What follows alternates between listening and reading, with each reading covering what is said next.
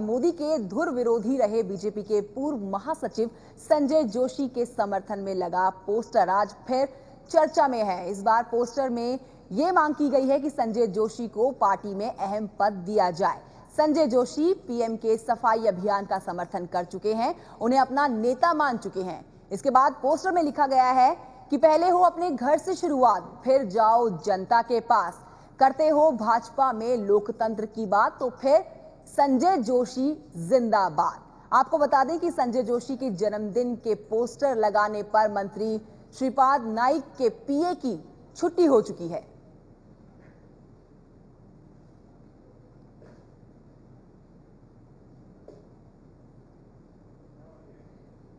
BJP में कभी महासचिव के पद पर रहे संजय जोशी की वापसी को लेकर मांग एक बार फिर से ज़ोर पकड़ रही और इसको लेकर दिल्ली में जगह जगह पर उनकी वापसी को लेकर उनके समर्थन में पोस्टर लगाए गए हैं। ये पोस्टर बीजेपी के वरिष्ठ नेता लाल कृष्ण आडवाणी साथ ही साथ बीजेपी अध्यक्ष अमित शाह के घर के बाहर भी लगाए गए हैं।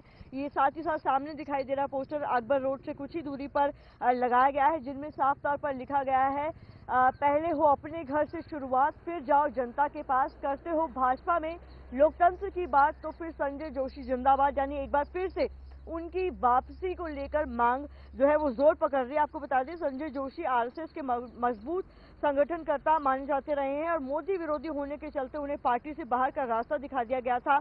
ऐसे में पार्टी में एक धड़ा उनकी वापसी चाहता है, लेकिन खुलकर सामने नहीं आ रहा। इससे पहले भी संजय जोशी के जन्मदिन को लेकर पोस्टर लगाए गए थे, जिस पर ऐसा बताया जाता है कि कई केंद्रीय मंत्रियों को झाड़ खानी पड़ी थी उसको लेकर कि उनके नाम पर पोस्टर क्यों लगाए गए थे। संजय जोशी भी कुछ दिनों पहले नरेंद्र मोदी का गुणगान करते हुए पाए गए थे। ऐसे में अब ये देखना होगा कि क्या एक बार फिर से इन सब चीज़ों के बाद उनकी पार्टी में वापसी होती है या नहीं। प्रतिमा मिश्रा एबीपी न्यूज़ दिल्ली।